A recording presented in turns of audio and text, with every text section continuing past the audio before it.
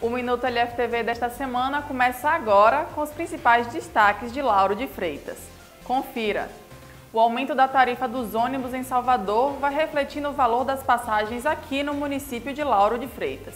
O que os passageiros questionam é que até o momento não foram anunciadas nenhumas melhoras nos transportes metropolitanos para justificar um novo valor.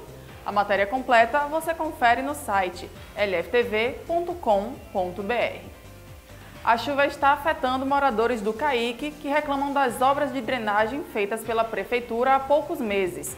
Na travessa, que só tem um ponto de escoamento para as águas pluviais, a rua está ficando alagada por conta das fortes chuvas.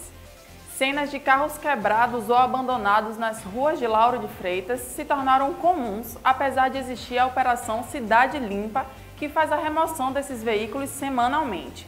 Os munícipes podem ligar para a CETOP para denunciar a situação e solicitar a retirada.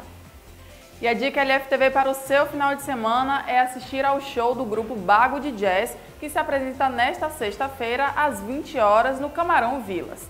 O universo instrumental com clássicos do jazz americano e da bossa jazz é um ótimo entretenimento para a família. O Minuto desta semana fica por aqui, mas continue acessando nosso site e redes sociais para ficar por dentro de tudo que acontece na cidade. Se deseja enviar uma sugestão de pauta, fale com a nossa equipe pelo número de WhatsApp 99230 1642. Um ótimo final de semana a todos e até a próxima!